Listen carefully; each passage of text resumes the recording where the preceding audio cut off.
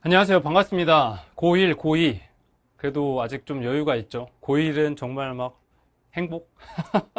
어? 9월달 막 아, 추석도 있고 나의 수입은 어떻게 되나 막 이렇게.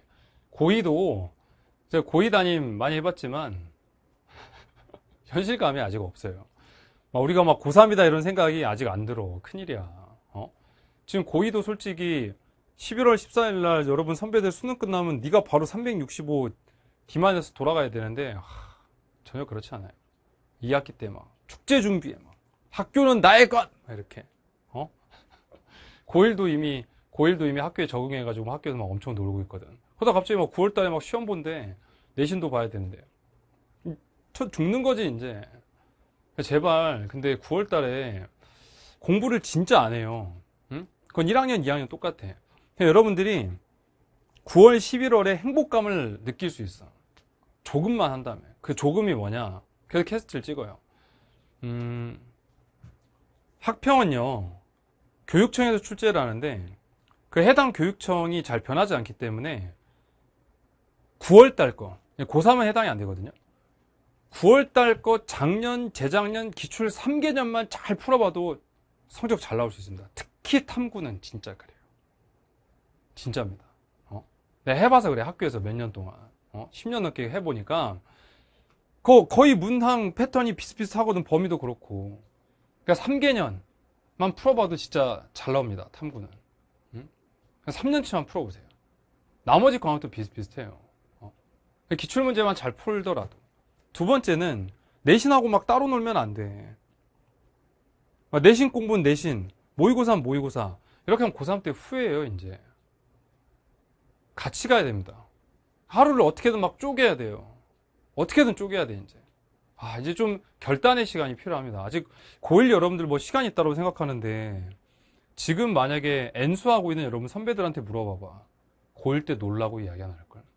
물론 놀라고 한다면, 너도 N수 해봐라, 뭐 이런 입장일 수도 있는데, 아, 그러면 안 되잖아, 선배들. 음. 이제 시간이 부족한 건 사실입니다. 그리고 고1 여러분들은 배수의 진을 쳤잖아. N수한 순간 교육과정이 바뀌어. 통사 통과로. 응?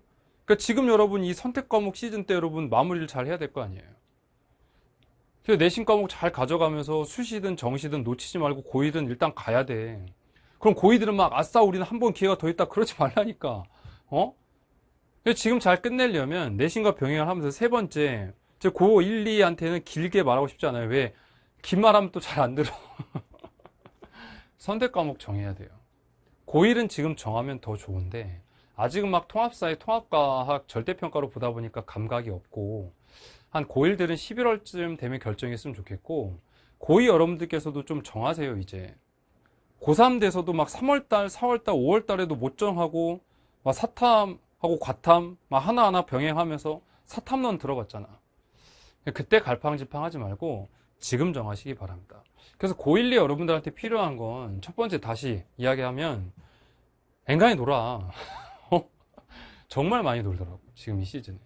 앵간히 놀고 두 번째는 기출문제라도 꼭 풀어보고 3개년, 3개년입니다. 그 다음에 선택 과목을 정하세요. 이것만 하더라도 9월달 여러분 잘했다라고 제가 칭찬해 줄 수 있을 것 같습니다. 왜? 정말 많이 놀거든. 진짜. 막 2학년들은 어디 막 야영도 갔다 오고 막 창의적 창치 막 갔다 와가지고 막 눈이 막 동태처럼 막 풀려가지고 수업 시간에 들어가면 5교시에서 막 이러고 그러지 말고 조금만 움직여 보세요. 아셨죠? 조금만 움직여가지고 고1은 이번 교육과정 끝. 고2는 선택 과목 정하고 내년에 끝 이렇게 하시라고요. 아셨죠? 그렇게 하신 다음에 저는 윤리과목에서 여러분 만나도록 하겠습니다. 고1, 2 합평 잘 보시고 저는 고1 통합사회 다음 고2 윤사생윤 해설 강에서 여러분을 기다리고 있겠습니다. 학평 9월 승리하시기 바랍니다. 감사합니다 여러분.